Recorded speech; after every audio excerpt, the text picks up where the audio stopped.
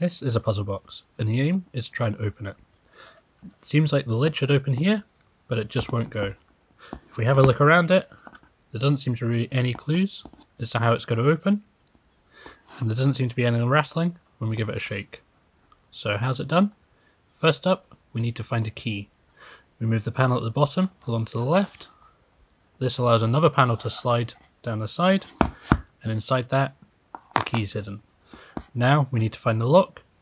You push the bottom of the puzzle box backwards, and that allows one of these to slide off, revealing the lock.